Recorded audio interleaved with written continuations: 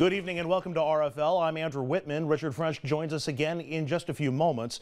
Thanks again for joining us on this Monday evening, the 7th of May at 6 p.m. and a busy Monday it is. Much more on the political and economic questions in Europe and what it could mean here, plus the return of the culture wars again as the Jobs, Jobs, Jobs party once again takes aim at same-sex marriage. But first, if you love to follow politics, and odds are if you're a regular RFL viewer, you love politics as much as we do, we've got something special for you tonight. It's a primary debate in the new New Jersey 9th Congressional District, and this ain't your typical debate. In most primary fights, you either have a group of candidates looking to replace an outgoing incumbent, or you have an upstart candidate or two looking to unseat a current incumbent, but that is not the case tonight. Instead, tonight features two long-time, long-serving members of Congress, two Democrats debating one another, and only one will return to Washington.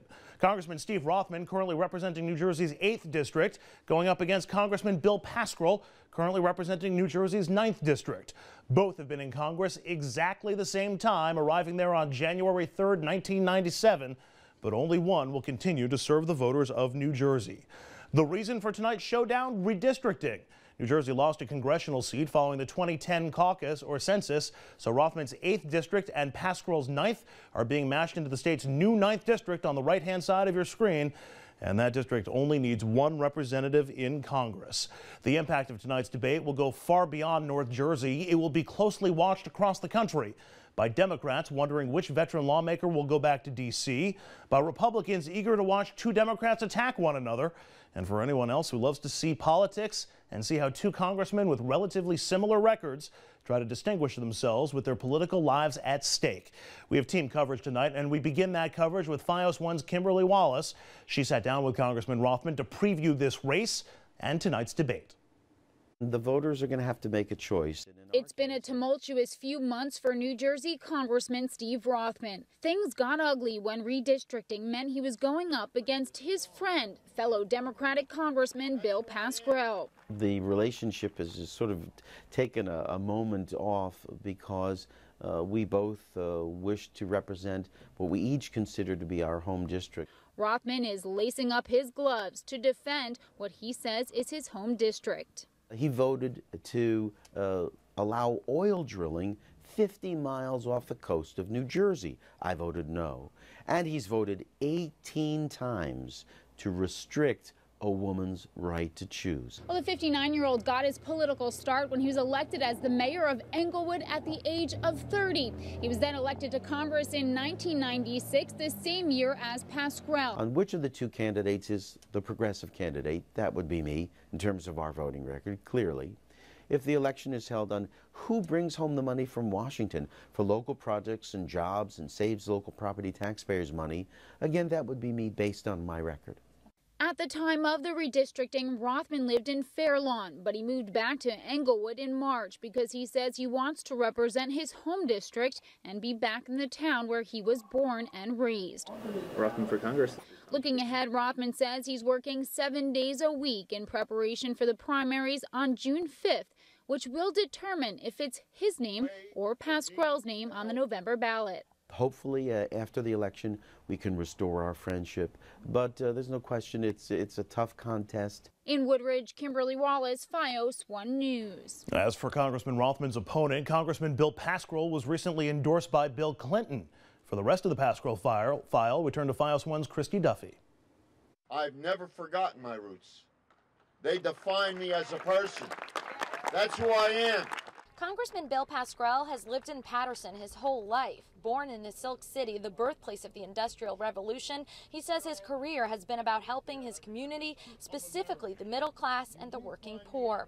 He first brought his tough talking, plain speaking style to Washington in 1997. And when I got to Washington, I brought a little bit of that Passaic County attitude and have never, ever let go, and I never will.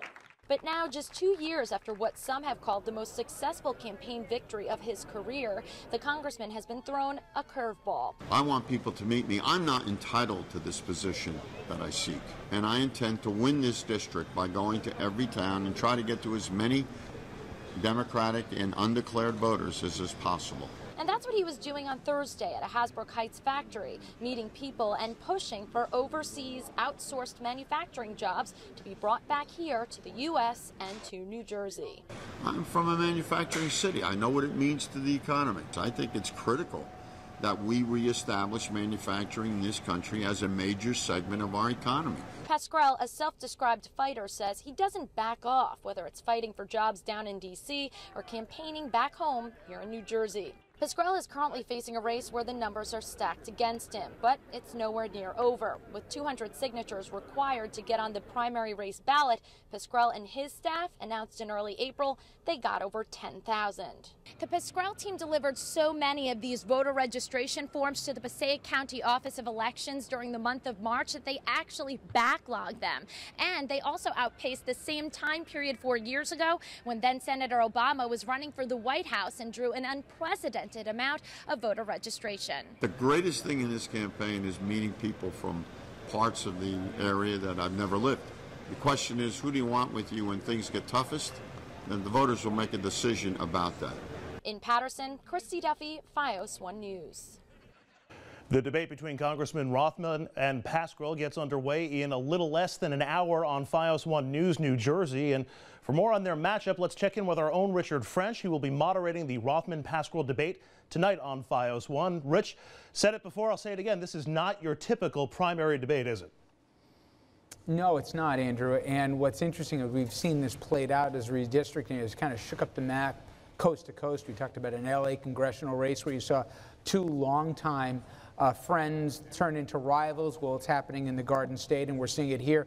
Both these gentlemen, both going to Washington in 87 and now find themselves fighting for one seat here, and it's made for uh, an interesting backstory and a very interesting election year. Rich, how much separation is there on policy and on positions between these two incumbent congressmen?